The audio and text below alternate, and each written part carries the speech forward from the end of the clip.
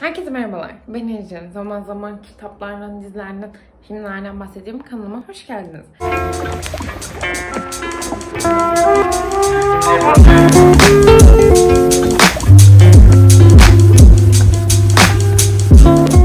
Size aslında bu videoda Ağustos ayında okuduklarımdan bahsedeceğim. Çünkü Ağustos ayında gerçekten benim için güzel kitaplar okudum, hoş kitaplar okudum ve bunları sizinle paylaşmak istedim. Ağustos ayında okuduklarıma geçelim.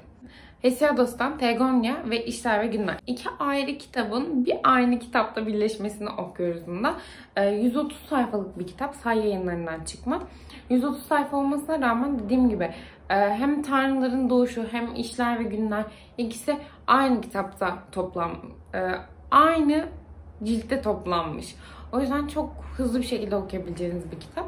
Ve Hesiodos'un dili ağır olması, ağdalı olması beklenirken en azından ben öyle bir şey bekliyordum. Ağır, ağdalı bir dil bekliyordum.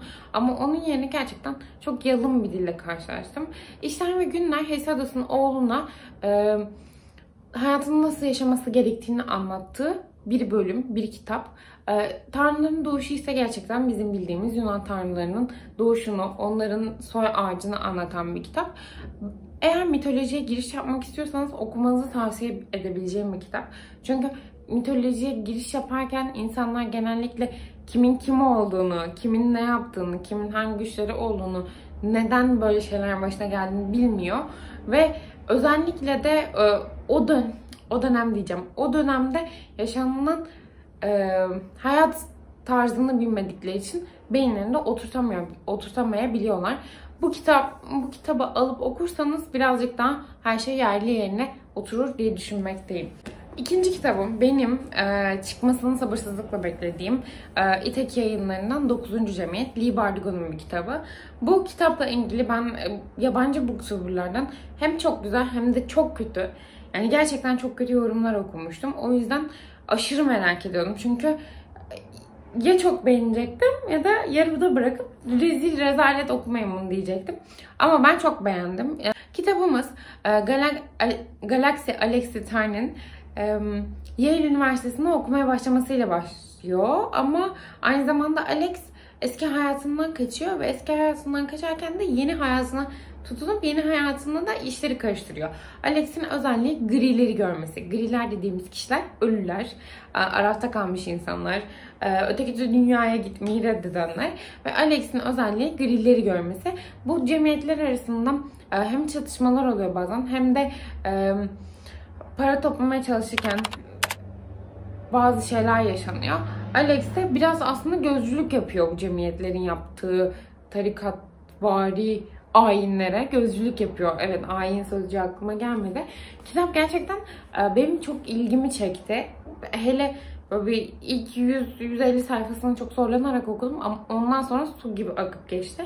O yüzden size okumanızı kesinlikle tavsiye edeceğim kitaplardan biriydi. Biri oldu daha doğrusu. Buna da 5'te 5 verdim. İşler günlere de yani Hesiodos'un kitabına da 5'te 5 vermiştim. Ardından yine yeni çıkan kitaplardan biri olan Gece Yarısı Kütüphanesi'ni okudum. Gece Yarısı Kütüphanesi Nora isimli bir genç kızın, genç kız diyeceğim, aynen genç kızın e, Araf'ta kalmasını anlatıyor. Az önce Araf dedim, şimdi yine Araf dedim. Nora'nın Araf'ta kalmasını ve Nora'nın Araf'tayken diğer hayatlarını görmeye tanıklık, tanıklık etmesini anlatıyor. Bir şey anladınız mı bilmiyorum bu cümleden. Diğer hayatlarına tanıklık ediyor ve bir günün ya da bir hafta ya da şans verildiği kadar o hayatları yaşıyor. Ve Nora aslında kendi orijinal hayatında yaşamayı istemezken ardından yaşamayı istemeye başlıyor. Ve kendi hayatının değerini anlıyor. Çok felsefik bir kitaptı. Yani tamam bir romandı. Bu romandı gerçekten ama aşırı felsefik bir yanı da vardı. Ben ama kitabı gerçekten ana hatlarıyla beğendim. Böyle kötü, iğrenç bir kitap diyemeyeceğim. Güzeldi, konusu çok orijinaldi bence. Konusunu ele alış şekli orijinaldi ya da. Sonuçta e, bu konuda başka kitaplar var ama konuyu ele alış şekli yazarın orijinaldi. Bu yazarın diğer kitaplarını da merak ediyorum. Zamanın durdurmanın yolları olsun bir tane daha vardı bir gezegenden notlar mı? O, o kitabı da çok merak ediyorum. Yine Domingo yayınlarından çıktı diğer kitaplarına.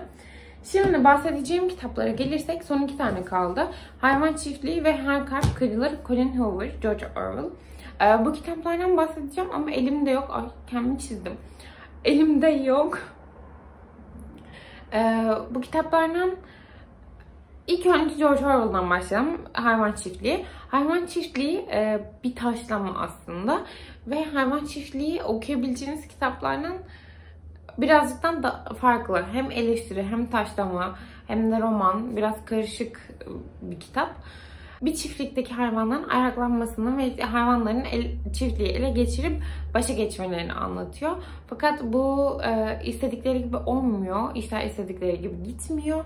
Ve ondan sonra e, yaşadıkları hayat önceki hayattan daha kötü, daha farklı olmaya başlıyor. Çok idealist başlarken ondan sonra çok farklı bir şekilde e, ilerliyorlar. Ve yani toplumdaki eşitsizliği, toplumdaki yanlışları anlatan bir kitaptı aslında. Ki tane zaman yazılmış ama hala okunabiliyor. Bence çok güzel bir kitaptı. Ben gerçekten çok beğendim. 1984 için aynı şeyler söylenmiyor. Yani 1984'ü çok beğeniyorlar tamam ama 1984'ün e, kötü yanları var diyorlar. 1984 biraz size depresyona sokuyormuş. Hayvan çiftliği için aynı şeyi söyleyemeyeceğim. Ben depresyona girmedim ama gerçekten etkilenerek okuduğum bir kitap oldu. Size de kesinlikle öneririm. Çok yalın. Gerçekten de hızlı okuyabileceğiniz bir kitap. Ben gerçekten daha ağdalı, daha farklı bir dil bekliyordum. Ama çok yalın bir dille karşılaştım. O yüzden bu kitaba da 5'te 5 verdim. Gece yarısı kütüphanesine de gelince gece yarısı kütüphanesine 3 üzerinden 5, 5 üzerinden 3 verdim. Hep fark ediyor musunuz? Önceki videolarımda da eğer hala beni izleyen bir insanlar varsa önceki videolarımda da hep ıı, bir kitabın puanını söylemeyi unutup atlayıp tekrar başka bir kitabın puanına geçiyordum. Neyse son kitabıma geçeyim. Colin Hoover'dan Her, Her Kalp Kırılır'ı okudum. Bu Her Kalp Kırılır'ı ben daha önce duymamıştım ve yeni çıkan kitaplardan biriymiş. Bana bir arkadaşım e, PDF e, aracılığıyla attı. Yani PDF attı ve ben PDF okudum. Yeni çıkan bir kitapmış. E, Hard Bones olarak geçiyormuş. Gerçekten aslında normalde beğenilen bir kitapmış. Ama ben o kadar sevemedim. O kadar sevemedim ki kitabı. Ne bileyim belki de uzun zamandır New Adult, Young Adult tarzı kitap okumadığım için sevmedim. Ama yine de bana hitap etmeyen bir kitaptı. Ben beğenemedim okuduğum süre boyunca.